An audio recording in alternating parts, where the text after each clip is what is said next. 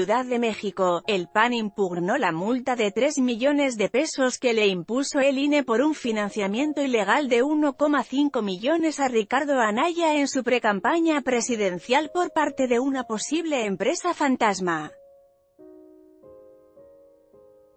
La semana pasada, el Consejo General de Línea acreditó que Carlos Ignacio Vargas del Villar, María del Milagro del Villar y Carlos Enrique Vargas, hermano y padres del edil panista de Huixquilucan, Enrique Vargas del Villar, triangularon recursos por medio de una presunta firma fachada para financiar a Anaya.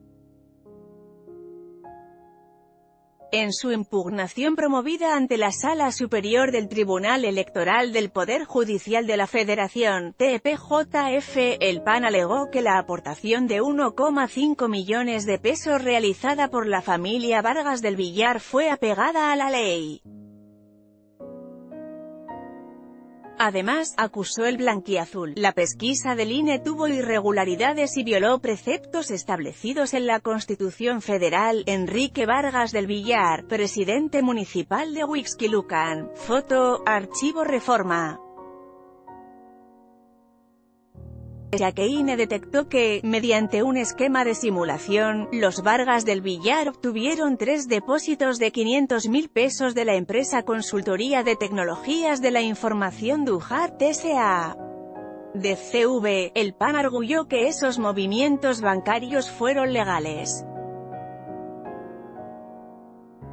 Expuso que la firma depositó esos recursos a los Vargas del Villar como parte de un pago por un servicio y ellos, a su vez, inyectaron ese dinero, ya como parte de su propiedad, a la precampaña de Anaya, por lo que no hubo ninguna anomalía.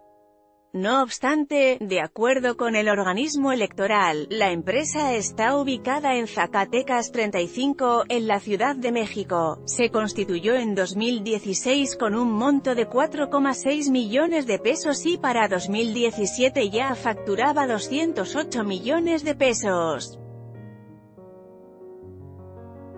Ricardo Anaya, ex candidato a la presidencia de México, foto, archivo reforma. Al acudir al domicilio, el IRE encontró un despacho con dos personas que no tenían conocimiento de las operaciones de la compañía, por lo que dio vista al Servicio de Administración Tributaria, SAT, ante la sospecha de que se trata de una empresa fantasma, no se debe ignorar el hecho de que la empresa realizó el pago de una cantidad de dinero derivado de la prestación de un servicio, señala la impugnación de Acción Nacional, cuando los aportantes realizaron el depósito en las cuentas de pre-campaña del otrora precandidato Ricardo Anaya Cortés. El dinero ya era de su propiedad y no de la empresa como pretende señalar el acuerdo del INE. Como defensa, el PAN agregó que la familia Vargas del Villar goza de buena reputación en el Estado de México e incluso Carlos Ignacio Vargas del Villar es accionista de varias empresas y asociaciones civiles, como Unión Ciudadana contra la Corrupción. Con información de reforma, en esta nota, Ciudad de México INETPJF Financiamiento Ilegal Ricardo Anaya Precampaña